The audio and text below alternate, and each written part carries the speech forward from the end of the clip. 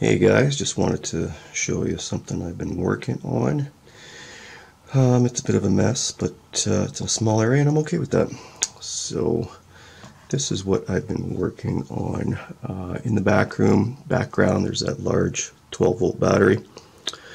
And I think it's 75 amp hours. And I have a PWM here. I have the battery charger.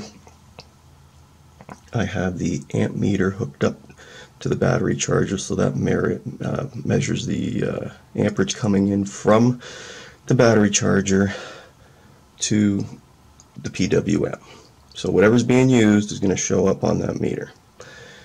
Um, from that, the PWM goes out and goes through that resonant rod with the magnets. It's bifilar wound, so one side goes through all the way through and then comes out and goes through a transistor and then goes back into the PWM. The other side comes out and goes through this bridge rectifier and goes into that battery. As well I have this meter which is reading 12 volts on the button which is hooked up to the battery as well. So that's basically it, plus or minus a few small capacitors, and I'm going to show you what it does. Um, I'm just going to plug it in the wall right now so you can come with me.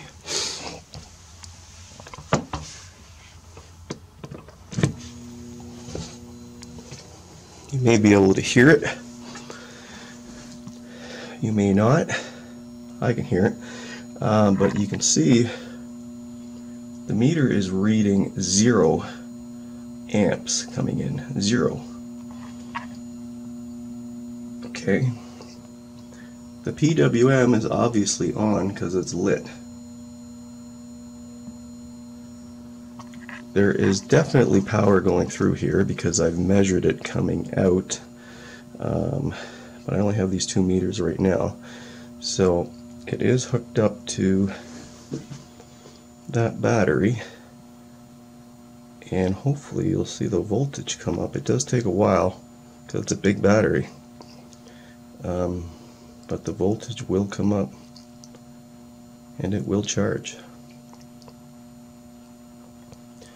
It's pumping out about I want to say 130 volts going into that battery coming from the bridge rectifier. The reason why there's so many wires on there is I just doubled up all the connections. So every connection I have has uh, two sets of wires on it. So the three wires on the negative, two of them are going to the negative of the bridge rectifier and the third one is going to the meter the one on the positive side, two of them are going to the positive on the bridge rectifier, and the third one is going to the meter. So it does take a while, but it does work. And I know the meter's working fine. I've already checked it on other stuff and it's working fine. I don't know how calibrated it is, but it definitely works fine. I'm going to just, uh, I'll turn it up like just, just a hair, just so you can see and hear the difference. So I'm just going to turn it up ever so slightly. It, it might go to 0.01, we'll see. Can you hear that? So there's obviously power going through there.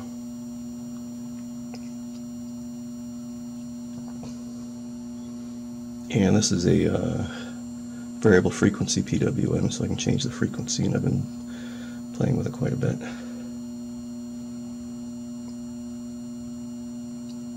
It does definitely take some time. It's a big battery.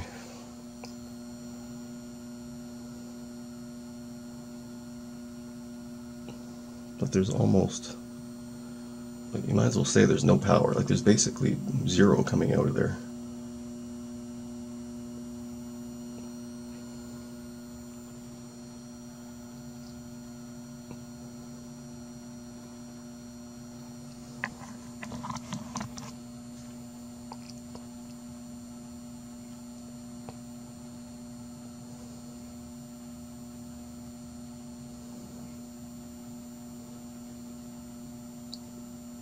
And that number I just gave you of about 130 something volts, that's with the meter reading zero. Oh, there we go, it's starting to come up, just flickered. When it's reading 0.01, it's uh, over 200 volts coming out.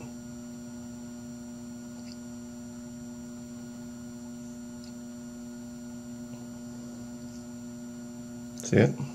It's starting to go.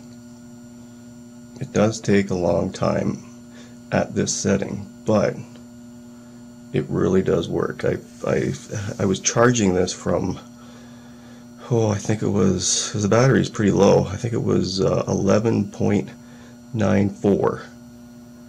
And it did take about a half hour uh, to come up to 12, and then I let it settle for about an hour, and it didn't go, it didn't, it just stayed at 12. So now it's at 1201. So you can see the voltage. So what I'm going to do is I'm going to try and remove one side from the battery the negative side so that you can see the voltage that's coming out of the system uh, 0.01 okay.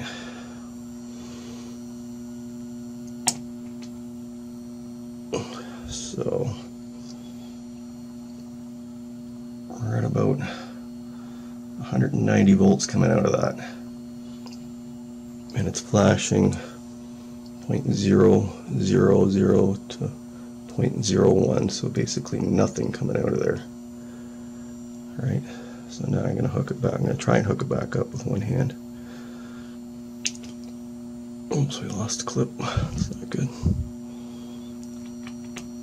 You see it spark when I put it on there.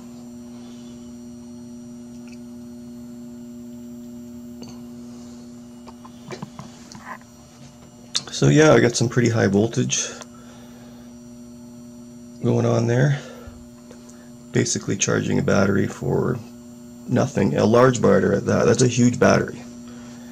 Um, like I said, it's 75 amp hours. It's a massive battery.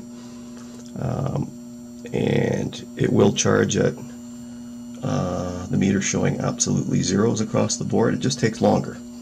Uh, but it definitely does because I've done it. So um, maybe I can do a high-speed video later to show you, but basically that's what's going on. Something very interesting um, to know, like how to tune these things. It's it's super hard, but I've been doing this for years. Magnets, those are one, two, three, four, five neodynamic magnets on one neodymium magnets on one side, and one magnet on the other side, and they're super strong. Those are imperative when trying to do this sort of thing. Without it, it won't work without the caps on the um, bridge rectifier, it won't work either. Like that's what tuning is about. You really have to take your time and tune this thing and find the spot. And then once you do that, you still have to find the right frequency and duty cycle. So it's not as uh, simple as it sounds to get this result. And again, that that voltage of uh, what was it 190 which is at you know 0.0 to 0.01 it, if I put it up to I don't know let's say 0.1 of an amp, which is what 100 milliamps.